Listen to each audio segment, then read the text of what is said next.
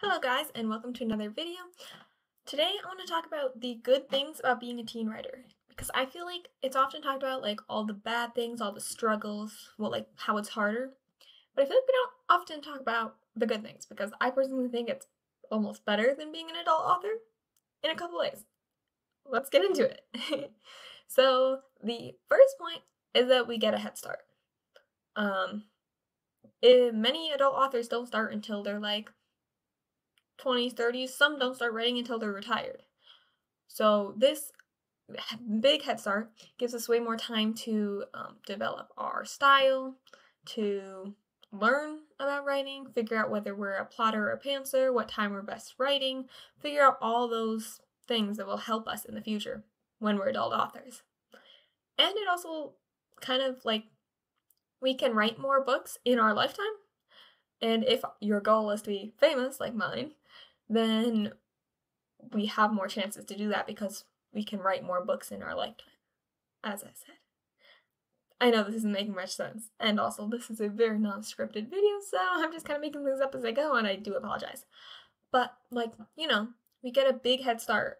We can really develop our own style and our books, learn what works good, what works bad, how to develop characters and setting, all of the problems with our own writing already so that we can start to fix them at such a young age. Like, I'm 15, almost 16, and by the time I, like, even just by the time I graduate high school, I'm gonna be so much of a better writer. And by the time I'm like the age of other authors when they first start, when they're like 30 or 40, I'm gonna be at that level. And I'm gonna be 18 years old. So I think that's a really good thing. Not to be like putting any more pressure or making it seem bad to be an adult author because that's very valid to start later. There are many benefits to that too, but right now I'm just talking about the good things about being a teen author. So if you're a young author, maybe this can uplift things.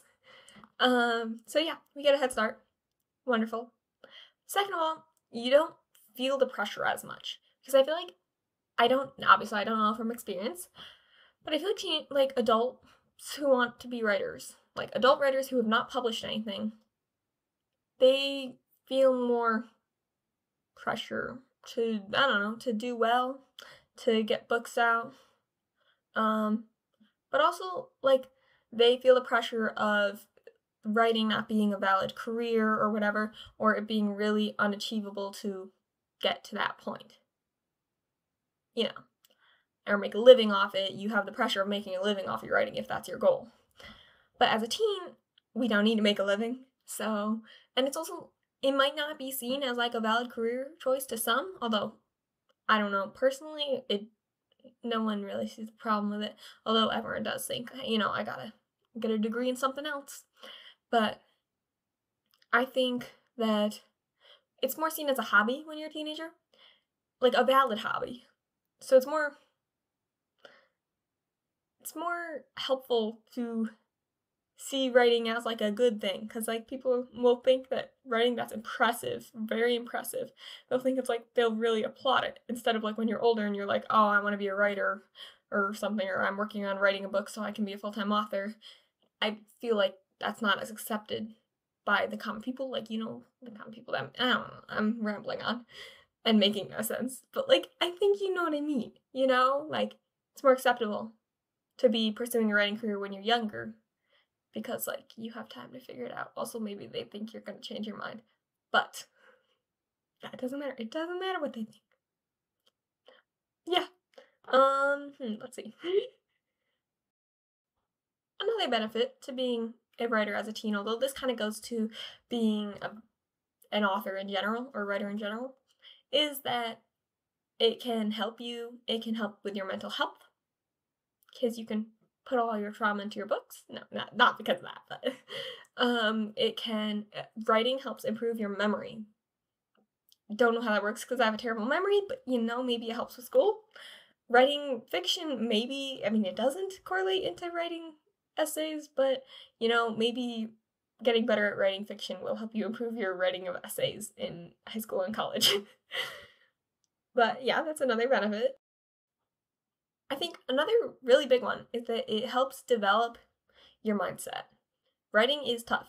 Kind of like running. I am a runner, but like it's kind of mentally tough in a way that many other hobbies or careers aren't.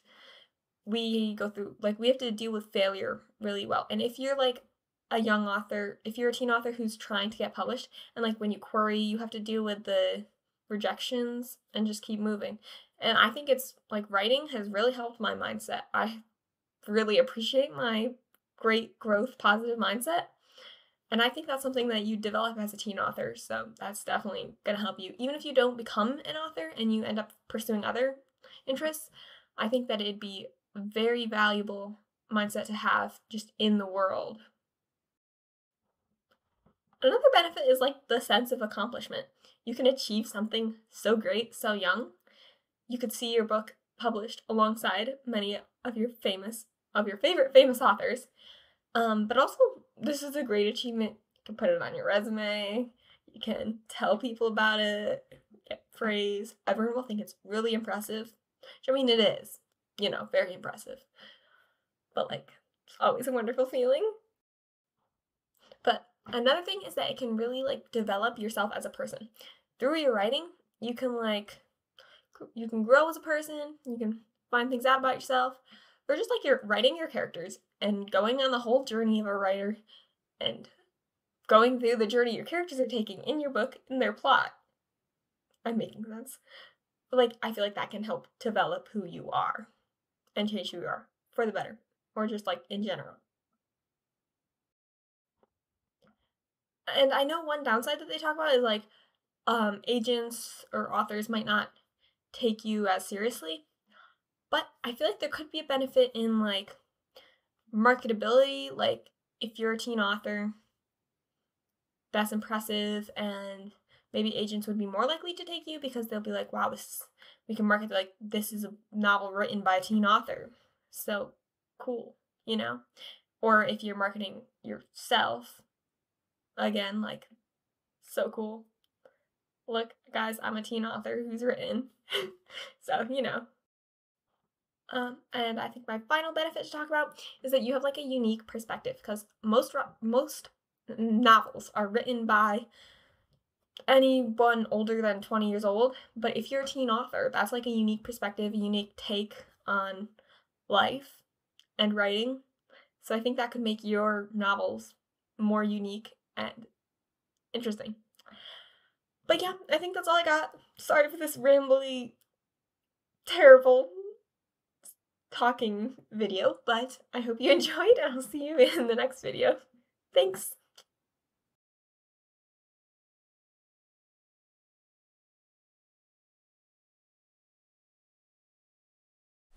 Okay, I actually have additions that I, this is like, I was going back to edit this video and I actually have some additions that I came up with. Another benefit of being a teen author is that we have way more time than adult authors. Because if you're an aspiring adult author, like if you're an adult who has not published a book that can, or even just you have published a book, but if your books are not able to, like you can't make a living off of them, then you have to deal with a full time job that exhausts you. Or maybe you have a family that takes up a lot of time, which is great, obviously. But as a teen, we have a lot more time. Yes, we have school. Yes, that is seven hours a day. Yes, we might have sports that are two hours, three hours a day. However, we have more freedom with our time. And I feel like, um, yes, school may be really tiring. Yes, my sports may be really tiring. But I feel like it's not as tiring if I were to work a 9 to 5 job. Okay? Just saying. Um, yes, we may have homework. Still, I think we still have more free time. Obviously, this depends on the situation, but we might have more free time. Okay? We also might have more flexibility in our schedule, like weekends, or like we could write in the morning before school or evening. I guess that's the same thing as a job, but still, we could write during school if we had a study hall. You know, like we have more flexibility, freedom, more time. Anyway, besides that little side note, I think that's the only other benefit I could think of. But let me know in the comments if you think of any other benefits. Make a list. Be optimistic. I think it helps our mindset. But anyway, I hope you enjoyed the video. Sorry for the two endings, and see you next one.